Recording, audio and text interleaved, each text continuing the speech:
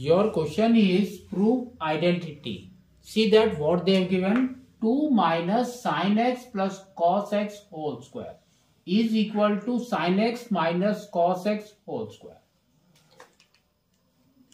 We will take LHS and we will prove RHS. So if you see RHS, it is in the form of A minus B whole square.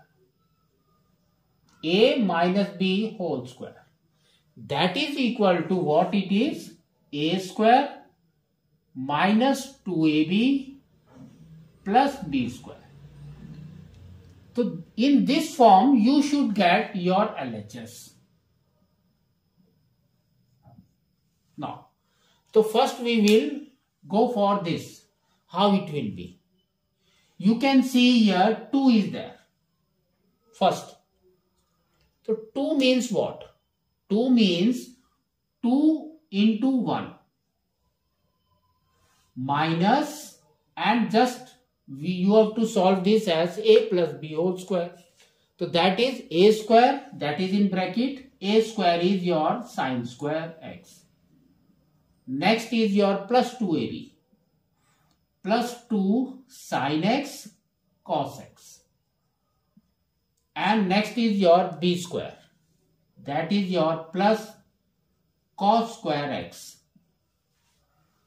Now open the bracket at the same time we know the identity of 1. What is that? That is nothing but sine square theta or sine square x plus cos square x that is equal to 1. So this value you have to substitute in place of 1. So it will be just like this 2 in bracket it will be sine square x plus cos square x.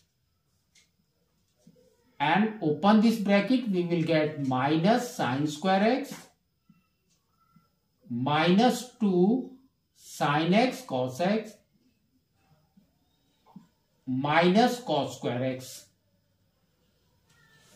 Now, 2 into sin square x is 2 sin square x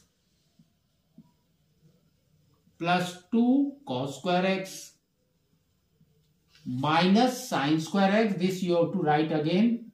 Sin square x minus 2 sin x cos x minus cos square x. Now if you see this is 2 sine square x and here it is minus sine square x. That means 2 minus 1 is 1. So you will get sine square x.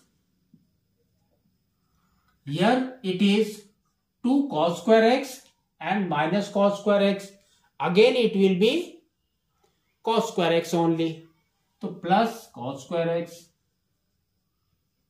And here comes minus 2 sin x cos x.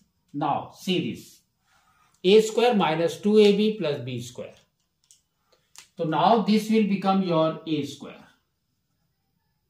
This will become your b square. And minus 2 sin x cos x will become your minus 2 AB. You can see this.